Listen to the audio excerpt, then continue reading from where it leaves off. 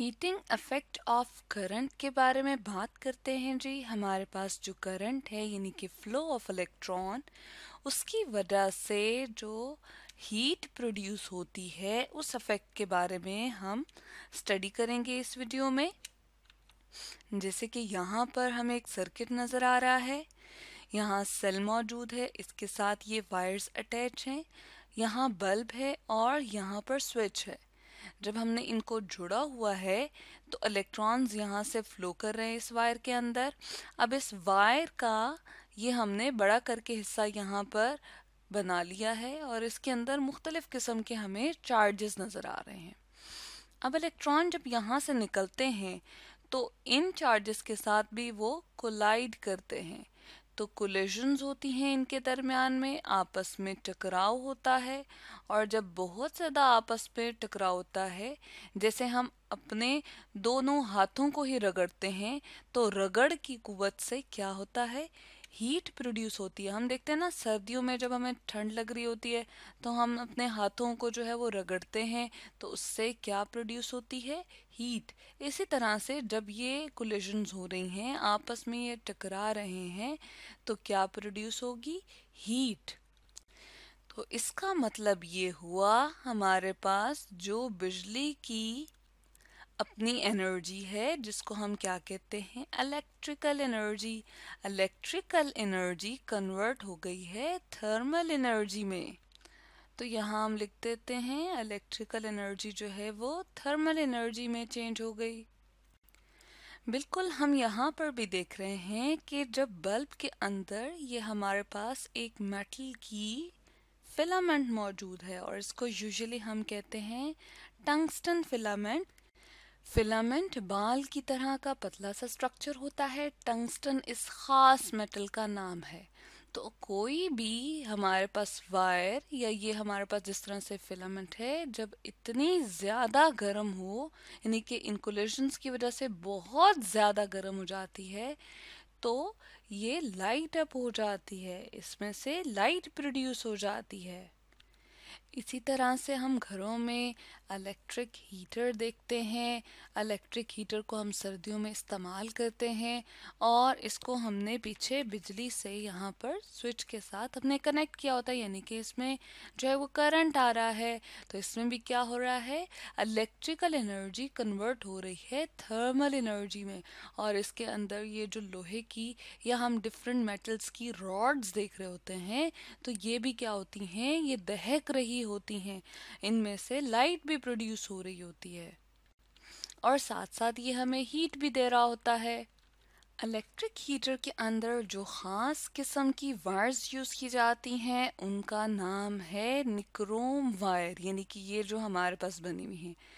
और ये किस किस का कॉम्बिनेशन होती है ख़ास किस्म की मेटल हमारे पास निकल और एक और हमारे पास जो है वो एलिमेंट होता है क्रोमियम इन दोनों के मिलाप से हमारे पास निक्रोम बनता है।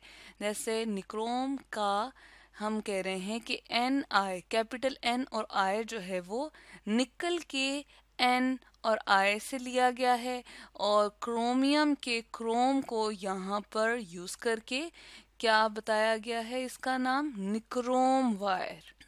तो हमने ये याद रखना है कि किस किस का कॉम्बिनेशन है ये? निकल और क्रोमियम का।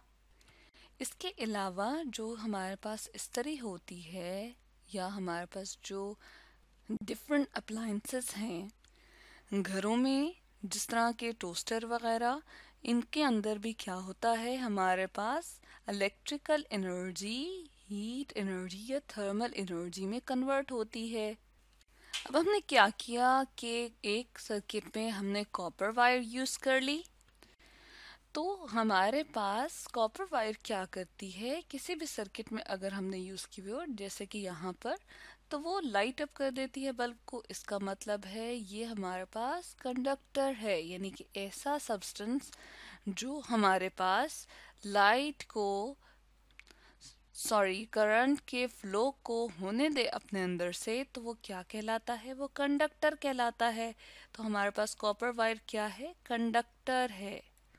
और बहुत सारी वायर से जब इसको कंपेयर किया जाता है तो ये बहुत अच्छा कंडक्टर होता है, यानी कि गुड कंडक्टर है।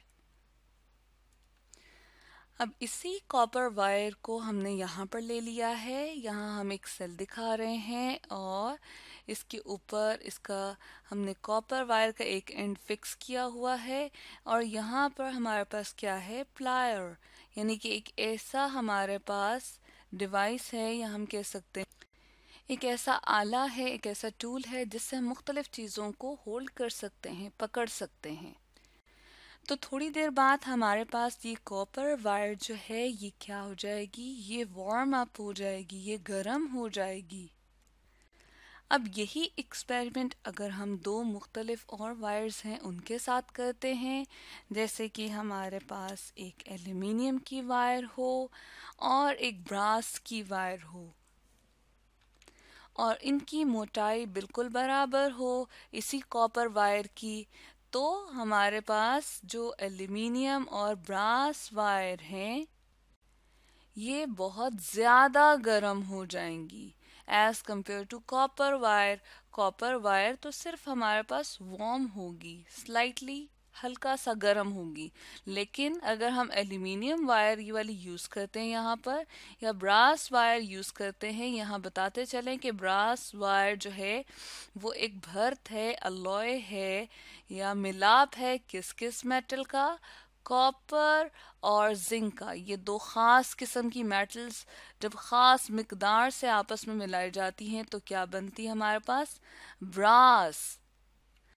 तो ऐसी क्या वजह है कि ये दोनों वायर हमारे पास हॉट हो जाती हैं, बहुत शदीद गर्म हो जाती हैं, जबकि कॉपर वायर जो है वो सिर्फ़ हल्का सा गर्म होती है गेट वॉर्म यानी कि यहाँ पर लिखा हुआ हमने तो वजह ये है कि हमारे पास कॉपर वायर बहुत अच्छा कंडक्टर है। कंडक्टर अच्छा हो तो इसका मतलब है वो कम रुकावट पेश करता है, उसके अंदर लेस रेजिस्टेंस होती है इलेक्ट्रॉन्स के फ्लो के लिए। तो यहाँ हमने लिख दिया लेस रेजिस्टेंस है, किसके अंदर? हमारे पास कॉपर के अंदर, जबकि अगर हम दूसरी मेटल्स या दूसरे इन तारों के बारे में बात करते हैं, जिनकी मोटाई बिल्कुल बराबर है इस कॉपर वायर की मोटाई की, यानी कि इनका आपस में डायमीटर बराबर है तो ये दोनों वायर्स जो हैं, वो ज़्यादा मजामत पेश करती हैं करंट के फ्लो के लिए इलेक्ट्रॉन के फ्लो के लिए। तो हम यहाँ पर लिख सकते हैं मोर रेजिस्टेंस इनके अंदर पाई जाती है। अब देखें, जितनी ज़्यादा रेजिस्टेंस या रुकावट होगी, उतना ही ज़्यादा इन चार्जेस का आपस में टकराव होगा, यानी कि जितनी ज़्यादा कोलिजन होंगी, उतनी ही ज़्यादा हीट प्रोड्यूस होगी। तो इस तरह से ये हमारे पास एल्यूमिनियम और ब्रास वायर जो हैं, ज़्यादा रेजिस्टेंस पेश करने की वजह से ज़्यादा गर्म होती हैं। और जो कॉपर वायर है, वो तो गुड कंडक्टर है, वो कम रुकावट पेश करती है अपने अंदर से इलेक्ट्रॉन फ्लो करने के लिए। तो इसलिए ये सिर्फ़ वार्म होती है, यानी कि हल्का सा गर्म होती है। तो आज हमने स्टडी किया हीटिंग इफ़ेक्ट ऑफ़ करंट के बारे में।